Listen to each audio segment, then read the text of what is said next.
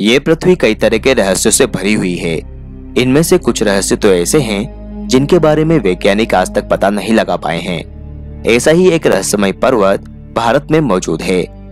बता दें कि हिंदू धर्म ग्रंथों के अनुसार ब्रह्मांड का सृजन और उसके विनाश का जिम्मा संभालने वाले भगवान शिव कैलाश पर्वत पर अपने परिवार के साथ निवास करते हैं।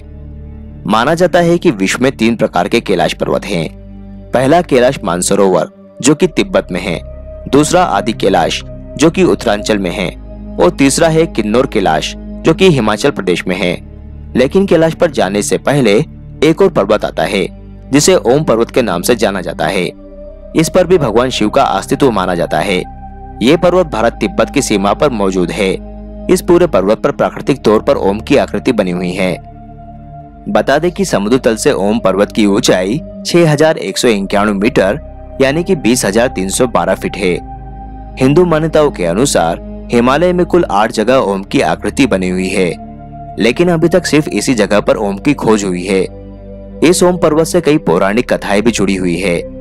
इस पर्वत पर प्राकृतिक तौर पर ओम बना होने को लोग ईश्वर का चमत्कार मानते हैं। हिमालय में ओम पर्वत का एक विशेष स्थान है। माना जाता है कि इस जगह भी भगवान शिव का अस्तित्व रहा होगा। इस ओम पर्वत को आदि कैलाश या छोटा कैलाश भी कहा जाता है। इस पर्वत पर बर्फ़ गिरने से प्राकृतिक रूप से ओम की ध्वनि उत्पन्न होती है। यहाँ यात्रियों को प्राकृतिक रूप से ओम की ध्वनि सुनाई देती है। हालाँकि विशेषज्ञों का मानना है कि ऐसा पर्वत पर गिरने वाली बर्फ़ के कारण हो सकता है। जब इस पर्वत की चोटी पर सूर्य की पहली किरण पड़ती है तो ओम शब्द की स्वर्णिम आभा चमकने लगती है।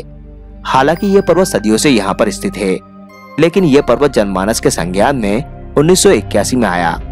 बता दें कि हिमालय पर्वत श्रृंखला में अभी भी कई चोटियाँ ऐसी है जहाँ देवी देवताओं का वास माना जाता है।